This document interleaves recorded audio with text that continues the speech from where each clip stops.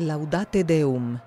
Ese es el nombre de un documento publicado el miércoles por el Papa Francisco, que llamó a adoptar una transición energética vinculante en la próxima reunión mundial del clima, la COP28 de Dubái.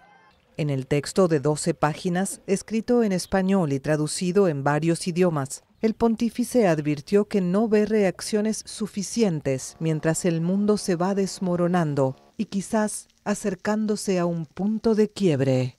Francisco publicó esta exhortación apostólica ocho años después de su encíclica sobre la ecología, Laudato Si, un manifiesto de 200 páginas al que meses después le siguió el histórico Acuerdo de París sobre el clima.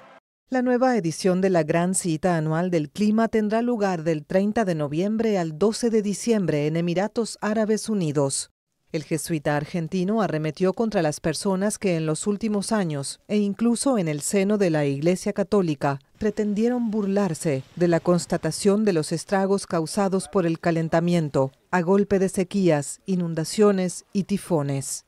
Francisco entra de lleno en el debate sobre la mitigación de las actividades causantes del cambio climático y advierte que la transición que se necesita hacia energías limpias como la eólica y la solar abandonando los combustibles fósiles, no tiene la velocidad necesaria.